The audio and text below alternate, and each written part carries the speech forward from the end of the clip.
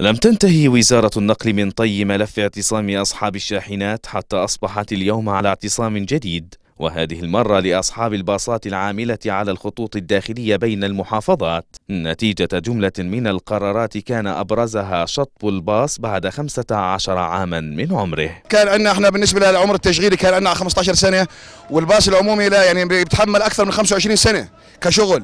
وعندنا باصات يعني موجودة الآن هنا موجودة بيناتنا الآن موديلها 2000 الآن كأنها باصات وكالي بعدها. يعني بنقدر يكشفوا عليها بيردوها على على على الفحص الفني على على الترخيص وبيقدر يقيموها هم. أما أنت بتحط لي قاعد من القرار 15 سنة هذا القرار مجحف بحقنا. هذول البساطة إحنا اشتريناهن بمصارينا. ما يجن ببلاش. ما أعطونا ورقة زي أيام زمان.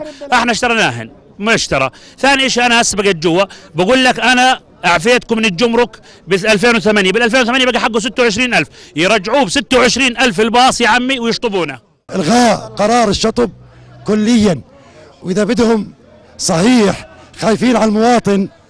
يعطونا إغراءات أو امتيازات والشطب اختياري. إحنا عندنا الباص كل سنة كل 12 شهر برضخ للترخيص الفحص الفني من الألف للياء.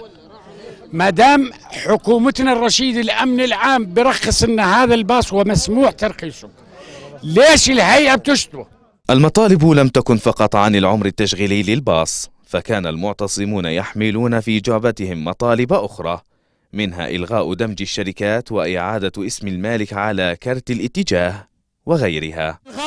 مسمى شركات. شركات هاي يا سيدي العزيز.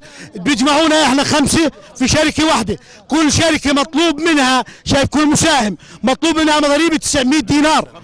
شايف 950 دينار سنوي. شايف طيب هو أنا الباص بلا مؤاخذة ما أنا ماخذه بالكمبيالات وبالدين. القرار الأول اللي جينا عليه شطب الباصات. القرار الثاني عدم دمج شركة شر... دمج الباصات للشركات. القرار الثالث إرجاع صاحب الم- المركبة على التسريح إلغاء دمج الباصات ما تحت ما يسمى شركة. هذا قرار خراب بيت لأصحاب الباصات. ثالثا إعادة حقوقنا الذي سلبوها منا قبل 15 سنة. هو إعادة أسماءنا على تصاريح باصاتنا إحنا. الوزارة بدورها قالت إنها ستعمل على دراسة المطالب التي تقدم بها المعتصمون لدراستها وإيجاد الحلول. بعد أن اجتمعت بهم. استقبلنا اليوم آه، طلبات الأخوة مشغلي الحافلات في محافظات المملكة المختلفة وإحنا كوزارة بنرحب فيهم بأي وقت حسب المطالب المشروع اللي ممكن يقدموها لأنه في بعض مطالب منطقية في بعض مطالب يعني بتكون آه، مخالفة للقانون والتعليمات الصادرة بهذا الشأن. إحنا الآن استلمنا منهم آه، ست مطالب من مطالبهم اللي هم عرضوها وإن شاء الله معالي الوزير راح يدرس هاي المطالب ورد عليهم بأسرع وقت ممكن. هل تنتهي معاناة أصحاب الباصات قبل أن تتفاقم الأمور؟ أم أن الملف سيوضع في الأدراج؟ أسامة بليبلي الحقيقة الدولية